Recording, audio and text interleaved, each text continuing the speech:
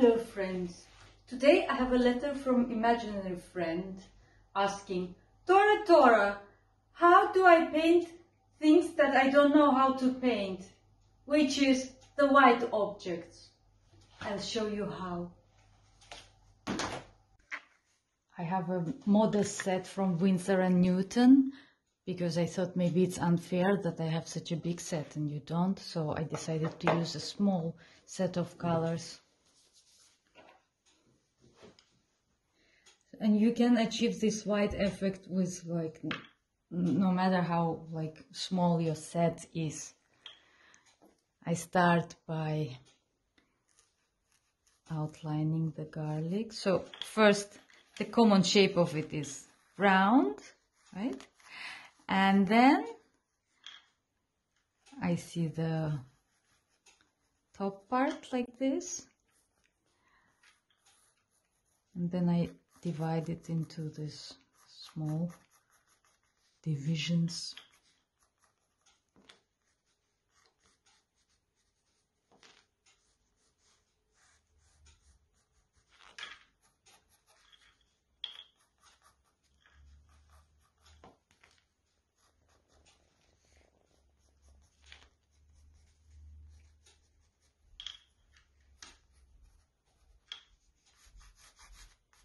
Light comes from here.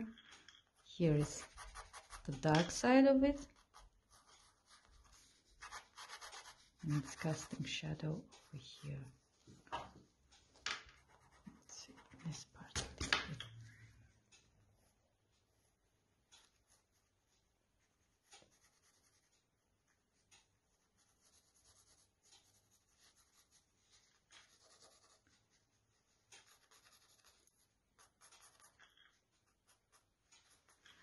So,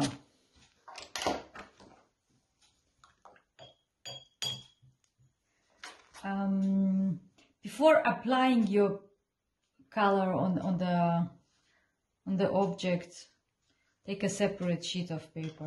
Or do like I do, like first apply it here, see that you need it uh, darker or warmer which means more yellowish or ochre. Like here I mix some blue with ochre.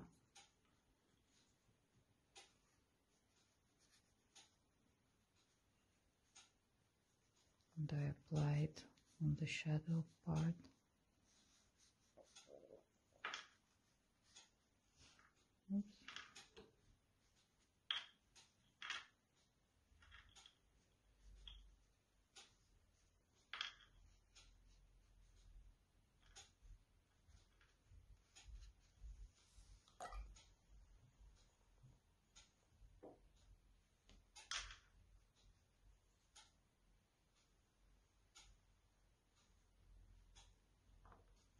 I see a little hint of yellow through whites.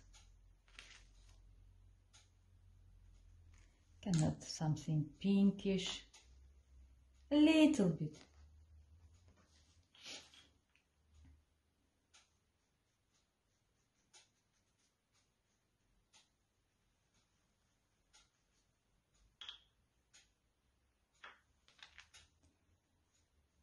By painting white objects, it's very important not not to kind of cover it with paint completely. Don't do anything drastic. Slowly, little by little, build the form and paint in the parts of an object.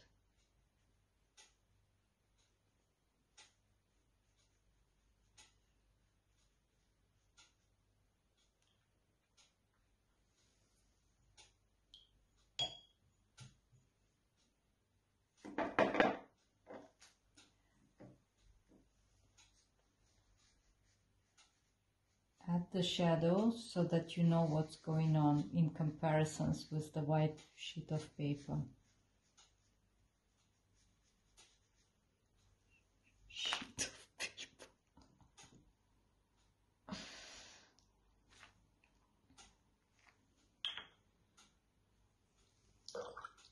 Also very important. Be patient. Don't um, don't do what I'm trying not to do right now. Like don't add too much color straight away. Let it dry in between. Like, now I'm stopping for now. I will let it dry for 10 minutes and then proceed. T-shirt. Mhm. Okay, it's a bit more drier and I go on to layer the colors gently.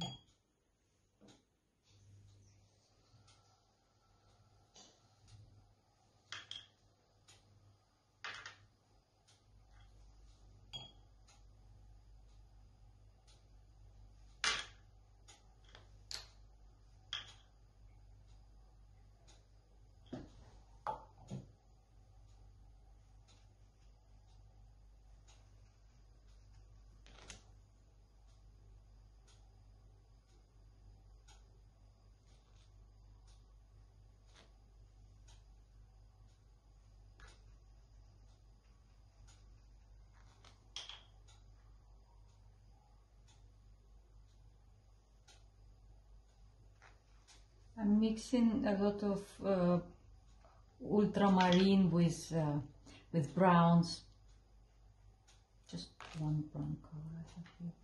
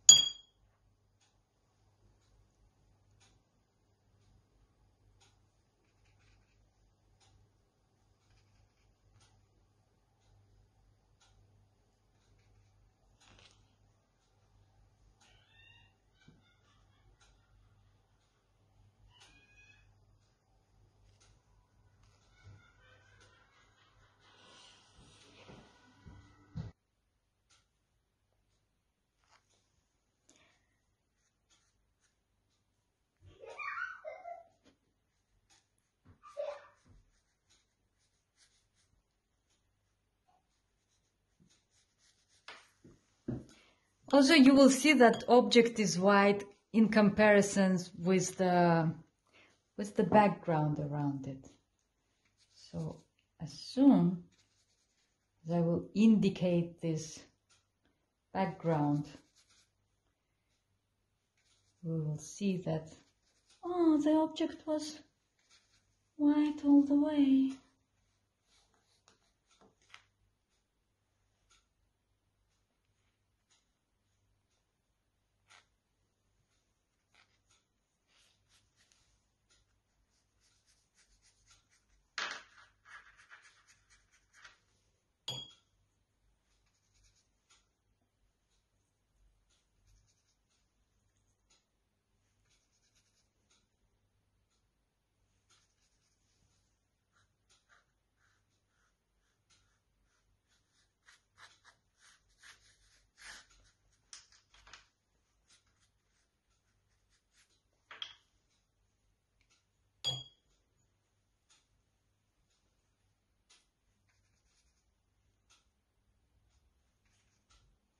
Oh, where is this blue coming from?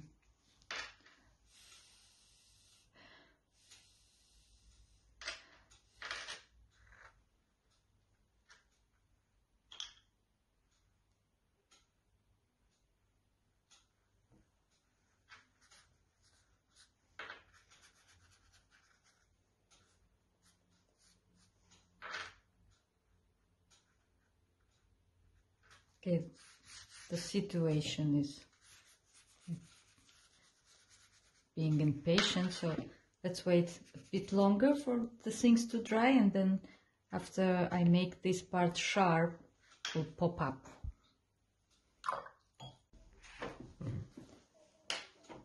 Okay now that it's dry I am emphasizing the shadow. I don't know if it's the right word to use, but it sounds so good. Emphasizing.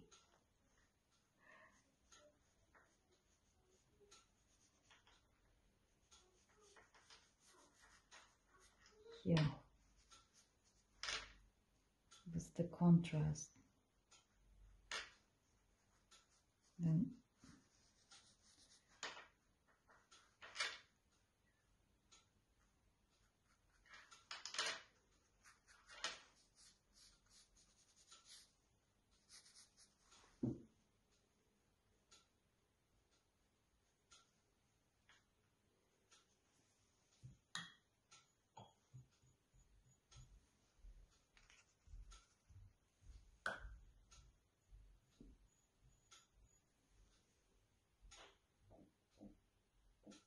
This set doesn't have a black color and to go dark I use ultramarine with dark brown and this uh, crimson or magenta, whatever it is.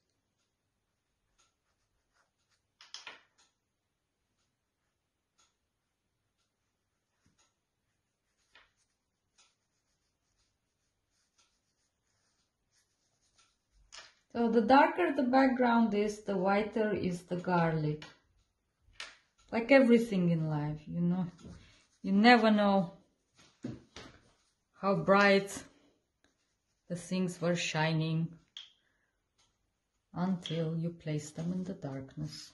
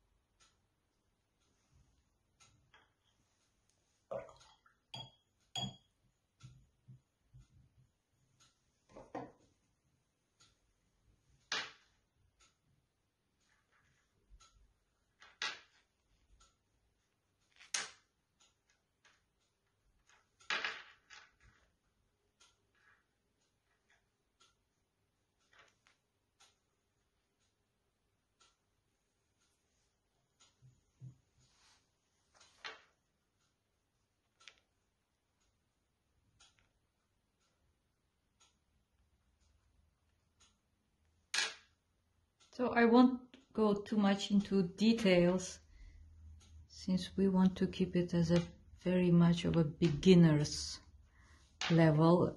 And uh, for beginners this is the information like in the end to to achieve white like first of all make sure the background is darker then it will be easier and uh, for the shadow use the combination of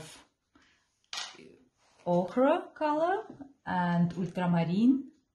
Mix in some crimson, like depending on which objects are around and which color they kind of um, which color they throwing on our object. Because it's uh, with with white it's very important what is around it. Like if I put the apple here then in the shadow of this garlic there will be a lot of reds. See? If I put lemon see how the how it changes? If I put something brown so the color jumps on white. So this is it for today. This is our garlic looks dramatic